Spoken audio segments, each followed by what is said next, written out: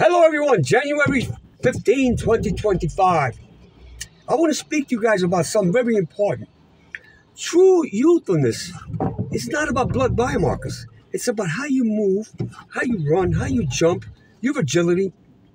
An 80 year old wants to say he's youthful, he has to be able to move like a 25 year old. And I mean no disrespect.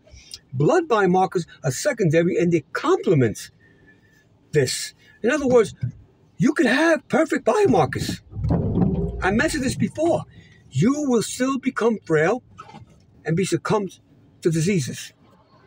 Another thing I want to say is very important. Advanced glycation end products. Do you know what that is? That's sugar. Sugar creates that. Sugar diet. High sugar. The problem is that as a child, most children eat sugary stuff for years. This creates advanced glycation end products. And what it does, it creates irreversible damage to your extracellular matrix. I don't know if you know what that is, but it's connected to flexibility, uh, joint health, motor unit, especially fast motor units. This damage is irreversible.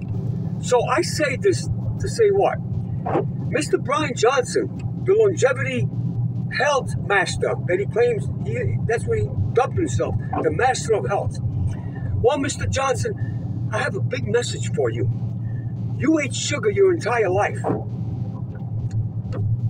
Those advanced glycation end products, you can't reverse. Why don't you measure that? Why don't you measure the health of your extracellular matrix? And I mean no disrespect. You are not going anywhere. And this is not speaking out of hate. This is by speaking of critical thinking. Okay, take it if you want it as hate. I couldn't care less. You are doomed. You because you in the last three years you you eat a healthy diet. You made your biomarkers good. Your advanced glycation end products, all that sugar you ate, all that sedentary life, you can't reverse that. You could lose weight and you could make your biomarkers good, but you cannot reverse the damage caused to your extracellular matrix. You better tell your dirty doctors to investigate this, measure yourself, and because you're so transparent, why don't you publicize the health of your extracellular matrix, your joints, your fast motor units, and your fast twitch fibers? You are an old man. You ain't 46. You might be about 70, 80. And guess what? You can't reverse this. And I'm not just directing at you, Mr. Johnson. I'm directing that at every one of these longevity biohackers. You're done. You're done. All you can do is try to live as long as you can because you're not living to 180, 200. Don't die. Immortality. Please wake up, everyone. These guys are fooling you, man. They're fooling you. I'm sorry.